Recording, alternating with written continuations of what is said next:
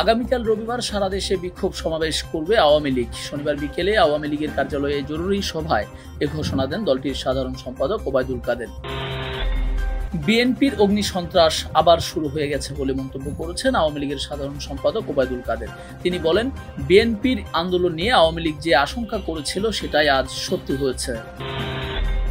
পুলিশের পোশাক পরে টিকটক ভিডিও করার সময় নারী সহ ছয় টিকটকারকে গ্রেপ্তার করেছে পুলিশ। শনিবার বিকেলে এক বিজ্ঞপ্তিতে বিষয়টি জানায় রাজশাহী মেট্রোপলিটন পুলিশ। সাভারের আশুলিয়ায় বিকাশ পরিবহনের একটি বাসে অগ্নিসংযোগের ঘটনা ঘটেছে।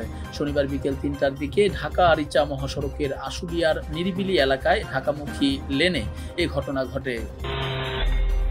বিখ্যাত আলিগড় মুসলিম বিশ্ববিদ্যালয়ের সাবেক উপাচার্য তারিক মনসুরকে দলের ভাইস প্রেসিডেন্ট পদে সমাসীন করেছে ভারতের ক্ষমতাসীন দল বিজেপি। পিছিয়ে পড়া মুসলিম জনগোষ্ঠীর সঙ্গে সম্পর্ক বাড়ানোর জন্যই তারিককে এই পদ দিয়েছে হিন্দুত্ববাদী দলটি। সৌদি আরবের ক্লাব আল আহলির কোচের দায়িত্ব নিয়েছেন ম্যাথিয়াস জাইসলে। লিভারপুল থেকে রবের্তো ফিরমিনো, চেলসি থেকে এদুয়া মোদি ও ম্যানচেস্টার সিটি থেকে রিয়াদ মাহারিজের মতো তারকাদের এবার ফুটবলের পাঠ দেবেন। প্রকাশ্যে এসেছে সৌদি চলচ্চিত্র এইচ ডব্লিউজেএন এর ট্রেলার। সৌদি লেখক ইব্রাহিম আব্বাসের এইচ ডব্লিউজেএন উপন্যাস অবলম্বনে চলচ্চিত্রটি নির্মিত হয়েছে।